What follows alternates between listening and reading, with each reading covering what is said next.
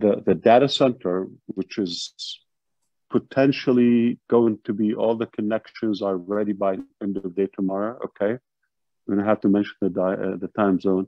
Uh, we're on track live on Monday and start migrating our um, hybrid uh, uh, first development. Like I said, we finish the development. Once we stabilize it, have enough servers, we go to the, the production. And you can break down the difference for the audience, the difference between development and uh, production environment. Mm-hmm. And then, uh, you know, I think uh, Colin also mentioned that in the past. He showed some, but just just in plain English.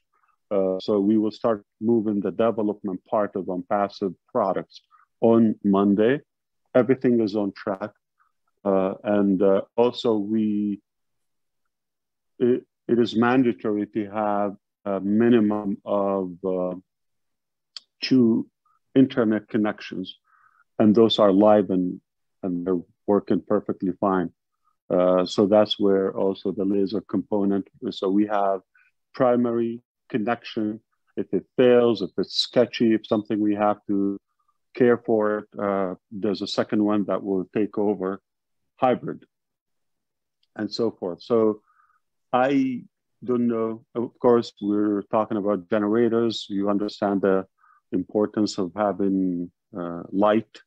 Uh, of course, the place is important where we take it. It's not, we don't want to go where the power goes off. Uh, so uh, we hope that we will be able to have like a 100% uptime if not like the the the worst it will be just very close to that it's above 99.999